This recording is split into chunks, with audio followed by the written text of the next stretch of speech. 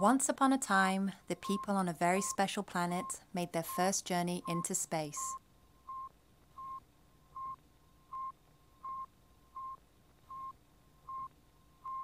The mission was a success and began a new era for the now spacefaring civilization.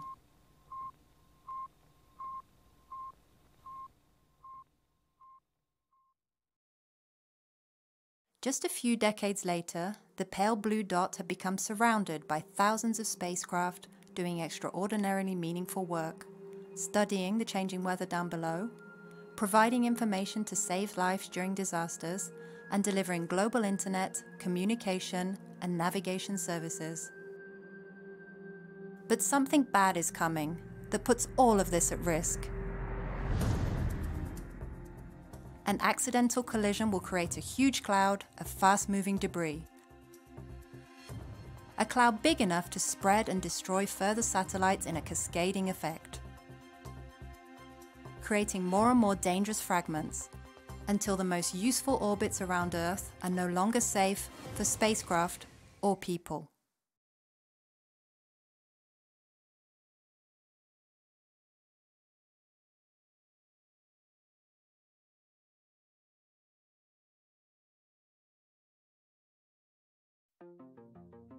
Before things got too bad, an international committee was set up to address the growing problem of space debris. At that time, spacecraft were being launched without any plan for what to do at the end of their lives, meaning they would one day become debris, potentially crashing, exploding, or falling down to Earth.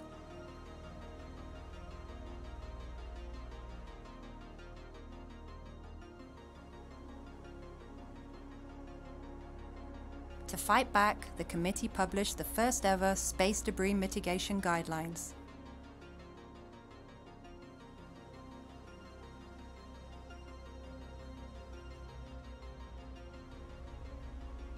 To prevent explosions, at the end of every mission, all fuel stored on board spacecraft must be expelled, and batteries should be disconnected from solar panels so they no longer recharge. All satellites flying in low Earth orbit, below 2,000 kilometers, should be deorbited within 25 years following the end of their mission. To do this, operators need to ensure enough fuel is left to fire the thrusters and gradually reduce the spacecraft's altitude, finally causing it to re-enter Earth's atmosphere and safely burn up.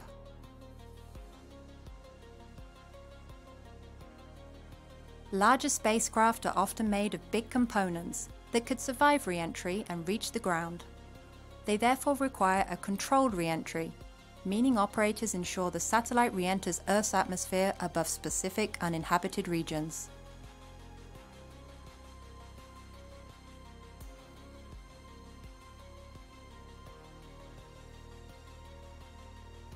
Earth re-entry maneuvers are very fuel expensive and therefore not practical from higher altitudes. Instead, when the mission ends, these satellites should raise their altitude to be left in a graveyard orbit, preventing them from striking functional satellites in this highly productive space highway.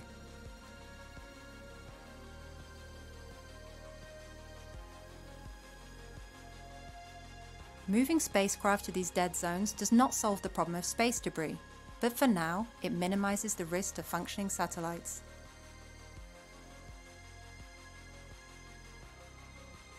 By following these and other simple steps, the amount of space debris in Earth's environment could be kept to sustainable levels, and the future use of space would be secured. Are we, the people on the special planet, following our own advice? It took some time for the guidelines to have an effect, because many missions had been launched already, or were years into development and would need to be completely redesigned. The first major satellite collision unfortunately took place between an operational and a dead satellite. Crashing at a relative speed of nearly 12 kilometers per second, it created thousands of bits of dangerous debris. Multiple exploding rocket parts, and the intentional destruction of some satellites continued to vastly increase the amount of debris in orbit.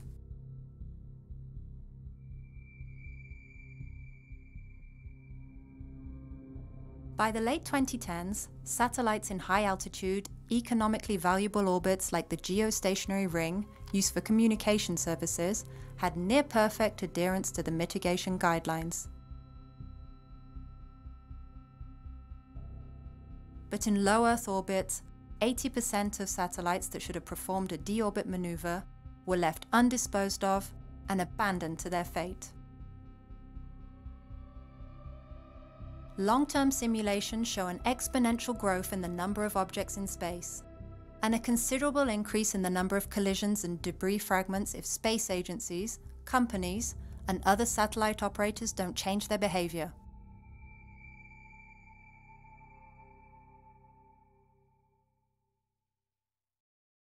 Today, satellites move out of the way of debris fragments multiple times each year through expensive collision avoidance maneuvers.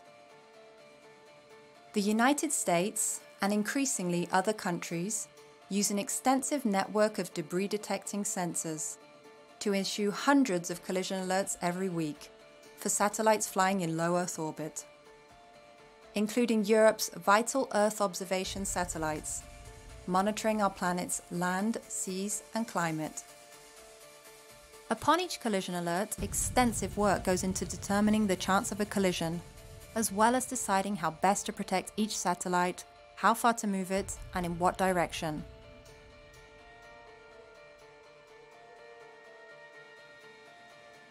If an avoidance maneuver is carried out, the satellite's instruments are often turned off, meaning they can't gather scientific measurements or provide commercial services.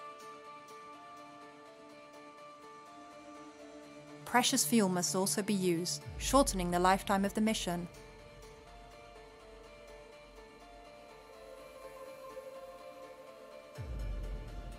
These maneuvers are time-consuming, expensive, and complex.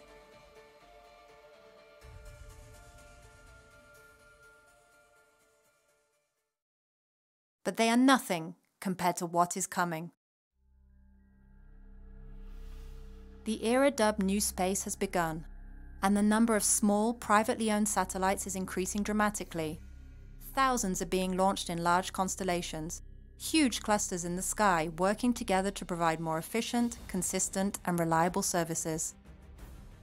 Several companies have started launching large constellations into low Earth orbit, to provide global internet access, and other companies have similar plans to follow. We are now moments away from having more working satellites in orbit at the same time than have ever been launched before. Such constellations have the potential to bring great benefits, but they could also be a source of huge disruption if we do not change the way we act.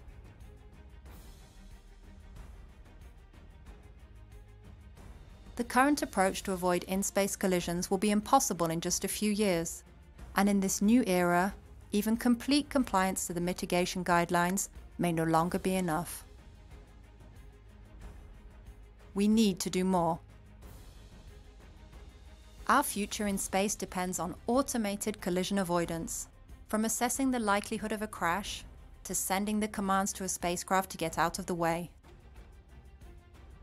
Automated decisions could even take place on board satellites, informing operators and other satellites of their actions to avoid interfering with planned maneuvers. As these intelligent space systems get more data and experience, they will become even better at predicting how situations evolve, reducing errors as well as cost emissions. ESA is developing technologies for an automated collision avoidance system as well as methods of refueling, repairing, and upgrading satellites in orbit, extending the lifetime of missions, and potentially minimizing the number of new satellites that need to be launched.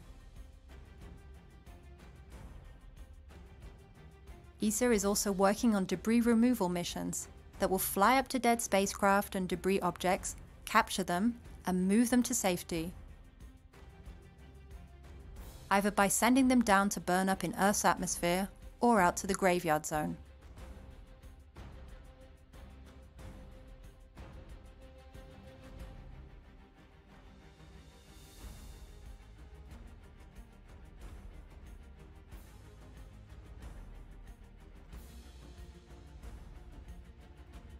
Solar sails, balloons, and other devices could be added to spacecraft closer to Earth, meaning they catch more of the planet's thin atmosphere and gradually slow down, lower in altitude, and burn up safely.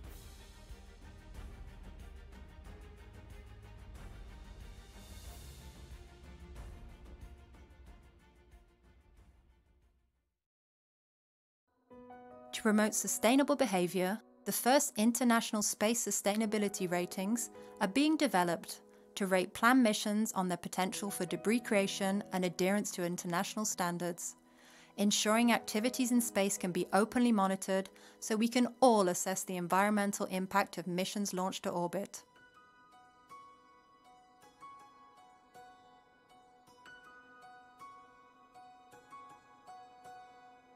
Our planet is unique and the rapid and remarkable development of space technologies has allowed us to see this in incredible detail. By reaching into space, we have brought huge benefits down to Earth, providing technologies that enrich our societies, connect people in previously unimaginable ways, and give us an incredible perspective and understanding of our planet. The orbits around Earth, however, are a limited resource, we must extend all that we have learnt about the need to take care of our planet up into space. We know what will happen if we continue on our current path, but we also know exactly what we need to do to change that fate.